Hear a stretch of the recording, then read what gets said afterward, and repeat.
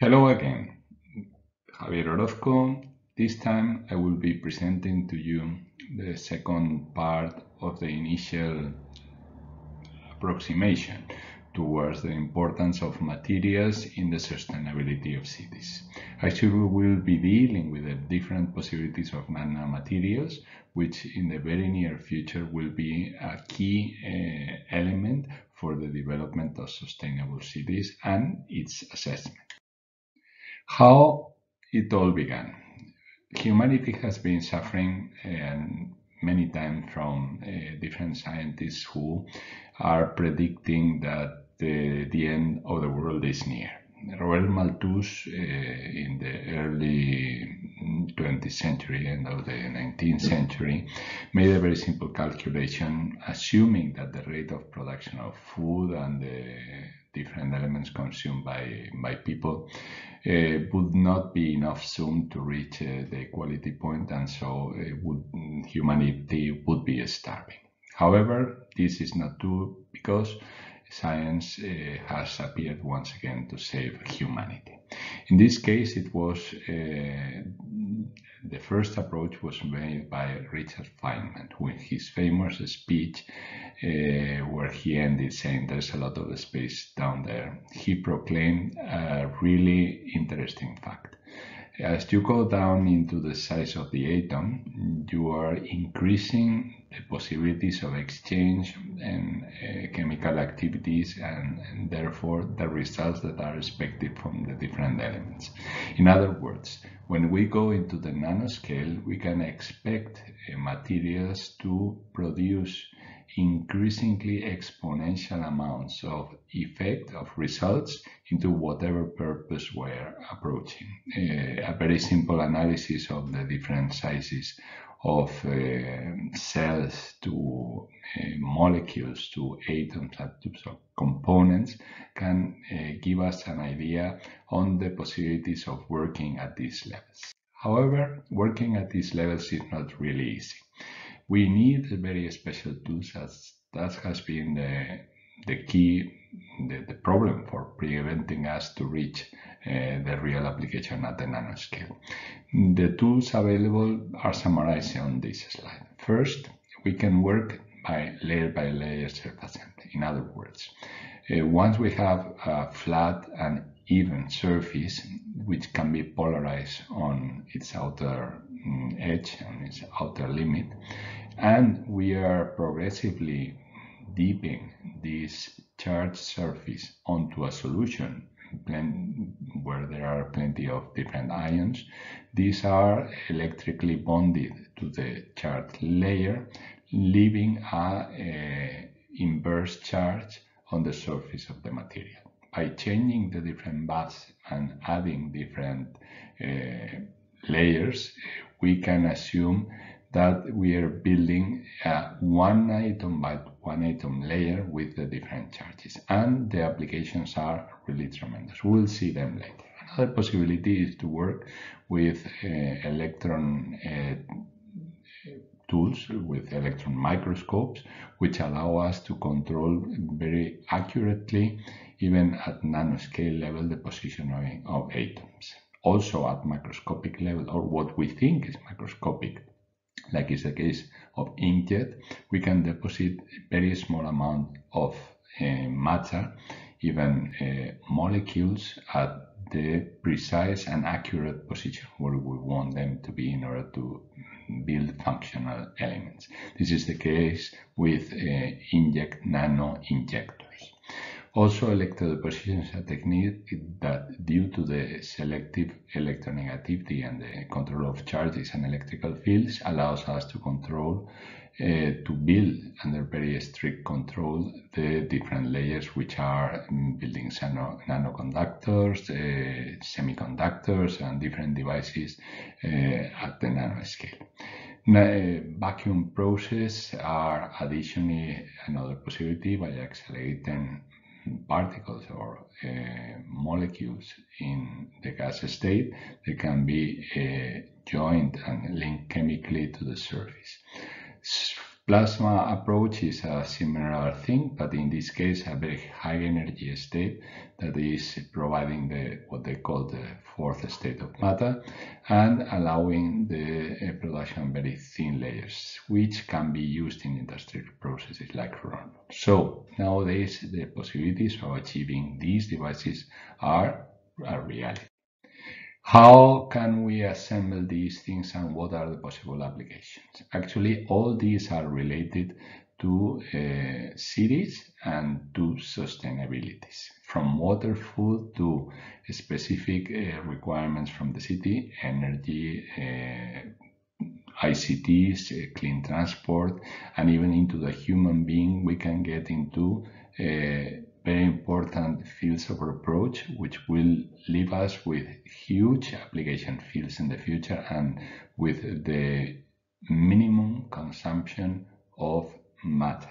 So the resources won't be a problem, only the technology in order to achieve these developments. For example, if we want to get water out of the air, there are some molecules like metal organic frameworks, which we can build and control very accurately, which allow us, uh, as the air goes through these uh, frameworks, to capture the water molecules and then condense them for uh, their use later.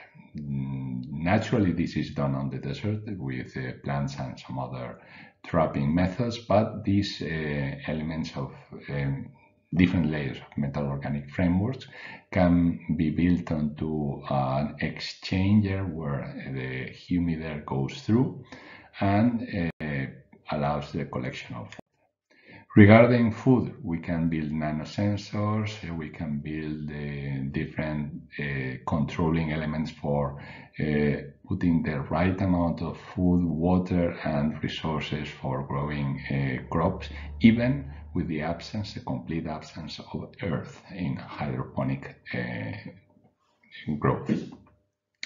When we add to the control of the different elements of the plants the possibility of putting uh, some of these uh, nanostructures into the air, they can control the amount of nutrients which are fed onto the plants, or even they can be applied for cleaning the atmosphere. In the case of energy, the examples are much nearer to industrial reality. For example, we can build uh, five different layers of very thin materials in order to get a supercapacitor cell, which has on top a solar cell for producing energy and storing it simultaneously. Very recently, we have been able to do this attached to a ceramic tile for the use on buildings. Another possibility is to develop artificial leaves, as you see on the top left, where uh, different membranes can, using the energy provided by the sun, split water and produce oxygen and at the same time hydrogen, which can be used as a fuel. These fuel cells that can be also built with nanomaterials can provide energy with uh, no environmental impact and at a very small cost provided that we have these uh, membranes and we have uh, sun to bring the energy which is required into the cycle. And uh, architectural elements like these shades which can be put onto uh, buildings, uh, car parks or any other places with very simple uh, thin films uh, built on top of the glasses can allow the collection of energy with only uh, the cost of developing the material. Regarding the multifunctional materials, we can add to whatever surface, to whatever existing object functionalities using nanoscale devices. For example, on the top left, we have a very normal glass, which uh, has been added a layer uh, with uh, uh, molecules of titanium dioxide, which are preventing the water drops to stick to the surface. They are repelled by the surface and they are drop, uh, leaving a very clean atmosphere uh, surface on the glass.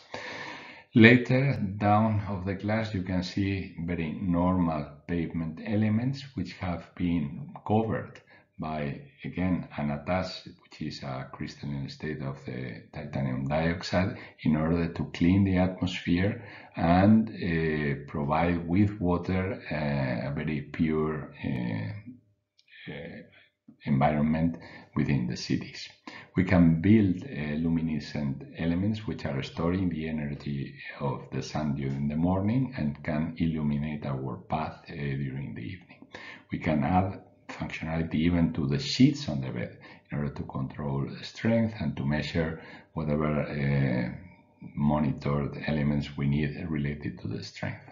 Uh, applying to lentils, very detailed, very complex nanoscale circuits can allow us to have screens embedded to our eyes in order to provide the smart technologies which are required every day within the cities. Even we can print houses with these nanospheres, which can help for binding and uh, facilitating the production of elements.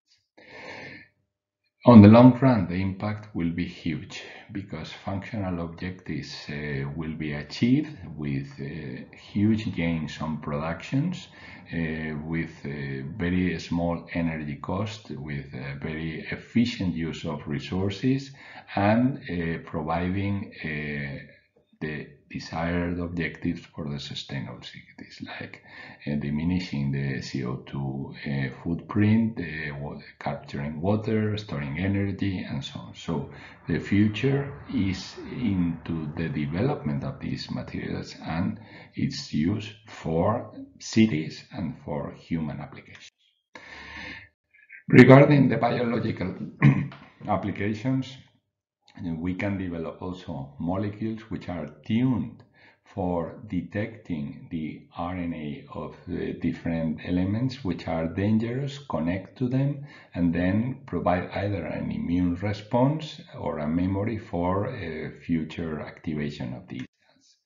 In the case of quantum computers, we will be able to produce uh, with uh, new uh, quantum states, which is adding for the electron movement, uh, three other three possibilities for their spin and so storing a large amount of energy uh, sorry a large amount of information at the electron scale. So in that examples the future quantum computers will be able to provide uh, an exponential growth of the uh, calculus possibilities of the machines in a very limited space and with no consumption of energy, which will allow uh, the, the cool calculation and avoiding therefore the huge temperatures which are a problem nowadays on computers.